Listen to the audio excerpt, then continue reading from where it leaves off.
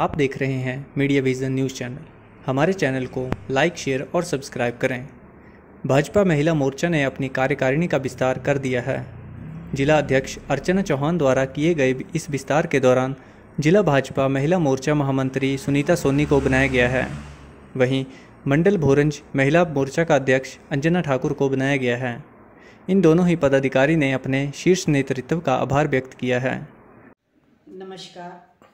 मैं अंजना ठाकुर, भाजपा के शेष नेतृत्व का आभार व्यक्त करती हूँ। उन्होंने मुझ जैसी छोटी सी कार्यकर्ता को भाजपा महिला मोर्चा फोरंज मंडल का अध्यक्ष पद का जिम्मा सौंपा है।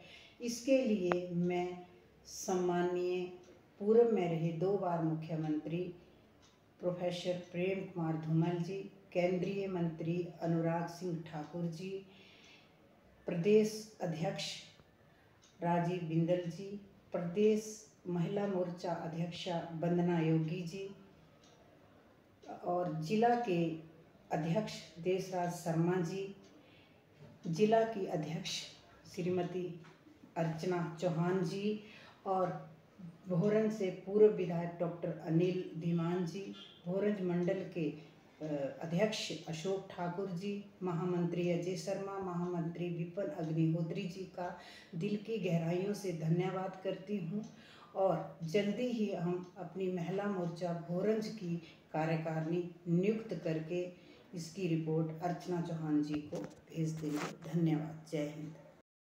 प्रथम मैं आदरणीय, पूजनीय, सम्माननीय दो बार रहे सफल मुख्यमंत्री प्रोफेसर श्री प्रेम कुमार धूमल जी, जिनके चरणों में मेरा कोटि कोटि नमन।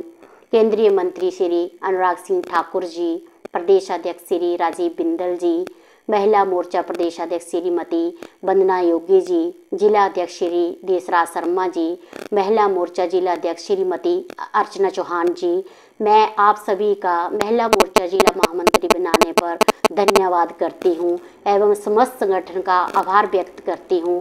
मैं संकल्प करती हूँ कि मैं दिन रात तन मन धन से पार्टी का कार्य करूँगी। जय भारत, जय हिंद, वंदे मातरम।